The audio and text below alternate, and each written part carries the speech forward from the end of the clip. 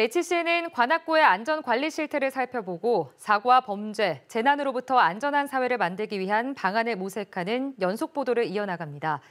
지난해 발생한 이른바 신림동 등산로 살인 사건과 유사한 범죄를 막기 위해 서울경찰청이 최근 둘레길 순찰 활동에 나섰는데요. 올해 첫 번째로 열린 관악구 지역 치안협의회에서도 등산로 순찰과 CCTV 확대 등 범죄 예방을 위한 논의가 이뤄졌습니다. 보도에 김민욱 기자입니다.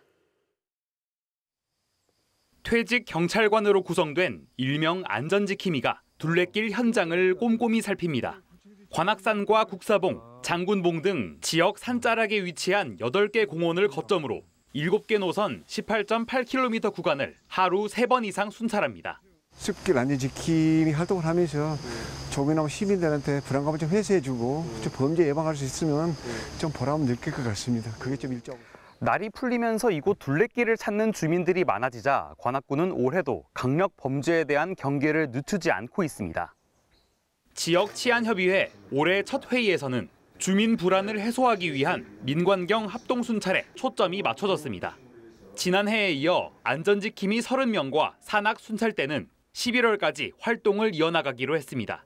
지구대 세 곳씩 그룹으로 정해서 그 남는 우리 순찰 인력을 둘레길 순찰에 집중 투입하고 있습니다. CCTV 관제센터에서 상시 모니터링 중에 있으며 범죄 예방 인프라 조성도 탄력을 받을 전망입니다. 지능형 CCTV 600여 대를 지역 내 공원과 등산로 등 200여 곳에 추가로 설치해 범죄 사각지대를 최소화한다는 계획입니다. 보도 육교, 지하보도, 터널 등 관내 도로시설물 7곳에 대한 CCTV와 비상벨도 대폭 확충하도록 하겠습니다. 한편 이날 회의에서는 구청과 기관 중심으로 이루어지는 치안 활동이 주민 체감으로 이어지도록 주민 공론장이 마련돼야 한다는 지적이 나오기도 했습니다. 지금 구에서만 우리가 지금 이야기하고 있는 거지 동해 우리가 주민자치원회 할 때는 이런 홍보는 동해는 전혀 없다는 거죠. 중요한 건 우리가 구에서만 할게 아니라 동... 어, 특히 뭐 CCTV를 설치한다든지 에, 방범 순찰을 강화한다든지 이런 부분들이 어, 일단 주민들이 느껴야 되기 때문에 반드시 어, 홍보를 좀 잘할 수 있는 방법을 어, 만들어서 이 밖에도 주소 없는 등산로에서 범죄가 발생했을 때 빠른 출동이 가능하도록 국가지점 번호 표지판이 지난해 대비 70% 이상 늘어날 전망입니다.